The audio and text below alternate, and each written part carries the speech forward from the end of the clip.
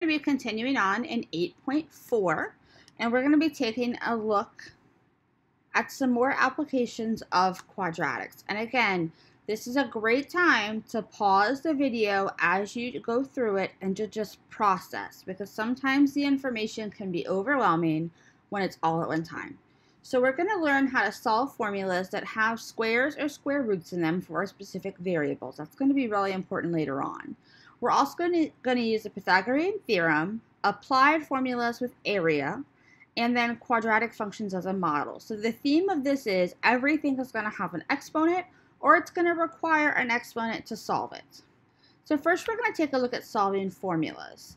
So when I'm solving formulas, I want to isolate a variable. And in this case, in part A, I want to isolate R but I don't have numbers. I have variables. And technically pi is a number, but it's not something like 2x.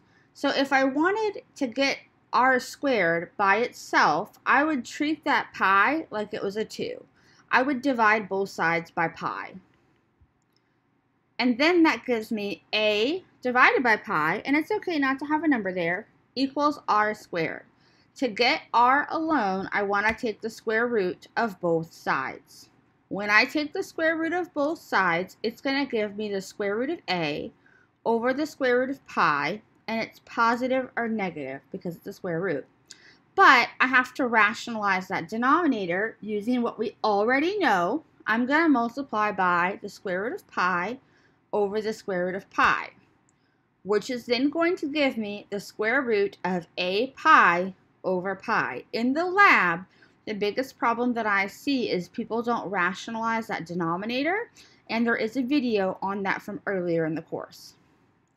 In B, I want to get A alone. So the first thing that I would do to get A alone is to go ahead and square both sides to get rid of the root. You could divide both sides by 30. That is okay. Either way would get us there but we're definitely going to have to get rid of the square root. So I square both sides, and when you square it, you're squaring 30 and the square root. So 30 squared is 900. The square of the square root cancels, and then I have s squared. So to get rid of p, I'm going to multiply both sides by p, and then to get rid of the 900, I'm going to divide. And that is solving that formula for a. Now here, if I want to solve this for t, this is a quadratic, it's three terms, but I have that weird k hanging out. So I'm going to solve this with the quadratic formula because I don't know how to factor that because I don't know what k is, and there is one of these in the lab. So you're going to use the quadratic formula. You're going to plug in a k where you see a c. And it's okay, you're going to get something with k in it, and that's fine. The negative of negative 5 is positive 5. 5 squared minus 4 times 2 times k would be 25 minus 8k, all over 4. I cannot take the square root of 25 because it's 25 minus something. So that is as simple as that answer gets. Now in the lab, if you don't enter the plus or minus, it's going to mark it wrong. So make sure you're double checking that you have two solutions when you enter it into the lab. So now I'm going to look at the Pythagorean theorem. So here is Miss Robinson's information on the Pythagorean theorem. I don't like the terms a squared plus b squared equals c squared. That's something that's commonly used in textbooks, but I think it's hard because what is a, what is b, and what is c? Well, we have a, b, and c in the quadratic formula, and now all of a sudden you're trying to tell me about triangles. So I think it's confusing. So what I like to say is the Pythagorean, Pythagorean theorem says side squared plus side squared equals the leg squared. So I like to think of it that way. So if I'm looking at this ladder, I've got an image and I know that x is the length of my ladder and it's leaning against a house. So it forms a triangle. The distance from the bottom of that ladder to the house is 5 feet. So in my triangle, that bottom measurement is 5 feet. The distance from the top of the ladder to the ground is one foot less than the length of the ladder. So it would be minus one, the length. And now I can apply the Pythagorean theorem. Now, Side squared plus side squared equals hypotenuse squared.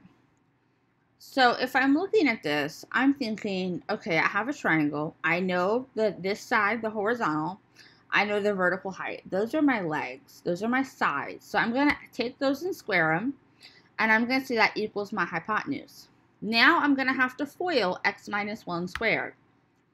When I do 5 squared, I get 25. Then I FOIL, then I have x squared. Anytime we have a quadratic, we got to get it in standard form.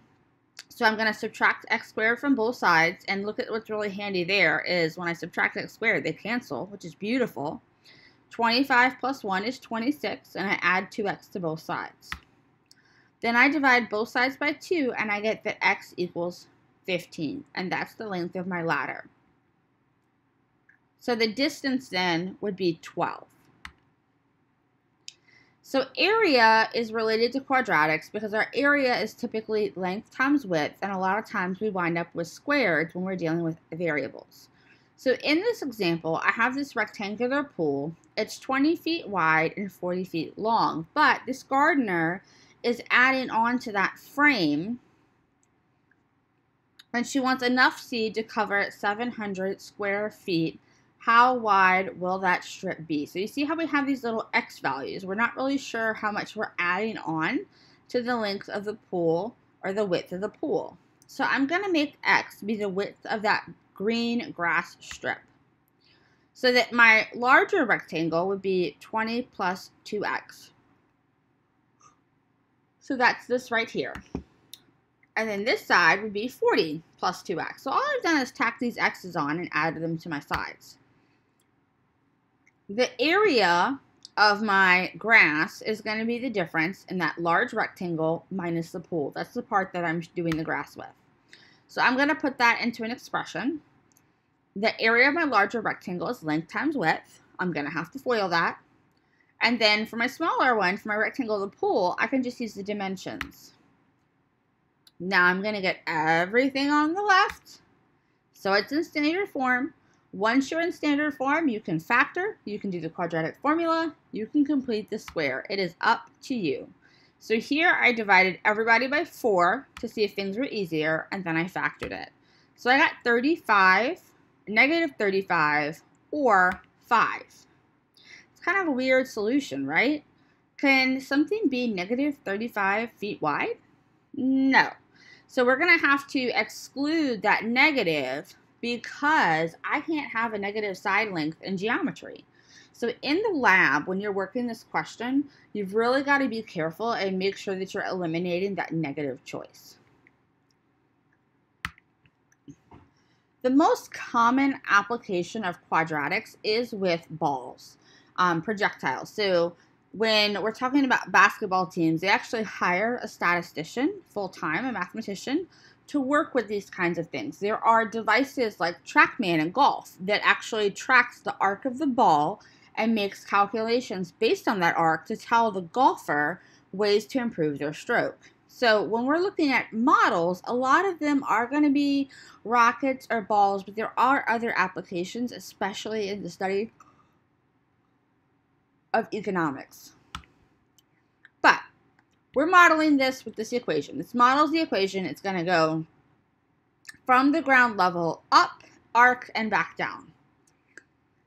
If I want to know when it is 32 feet from the ground, I'm going to make it equal 32, and I'm going to solve for t.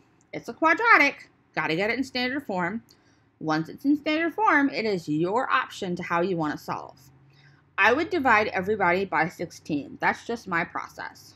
Then from there, this does not factor, so we're going to have to use the quadratic formula, and we're going to get 4 plus or minus the square root of 8 over 2.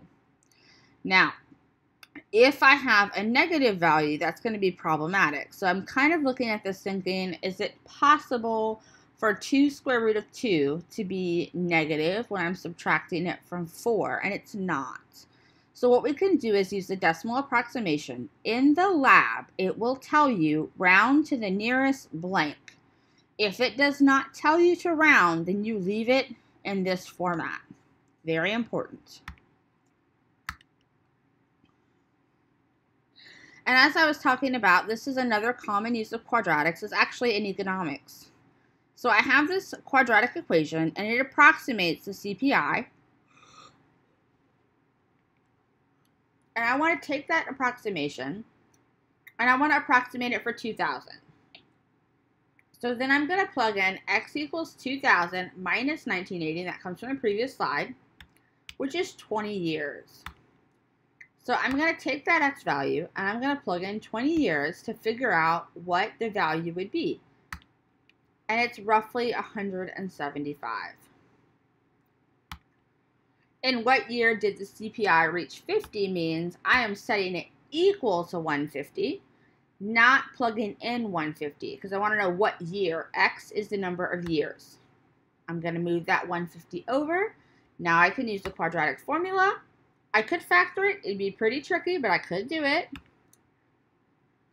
And I'm going to be able to get 14.9. Why is there only one answer? Because if you get a negative number, you cannot have a negative year. So you're going to have to exclude the negative number there as well.